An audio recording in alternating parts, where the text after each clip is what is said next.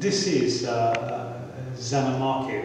Uh, about about five years ago, um, uh, when it, it was, it still had its kind of uh, signs from the, the 1970s, uh, and which, which, which when, when I saw it, I saw the the, the four jokes, and I thought, yeah, that's that reminds me of when I first came uh, to uh, and and when I saw it okay, these are these are things which are old, but uh, that doesn't mean make them bad. And so I thought yeah, that, that that I want to remember that because I know in, in, in the future this this won't this won't be uh, happen anymore.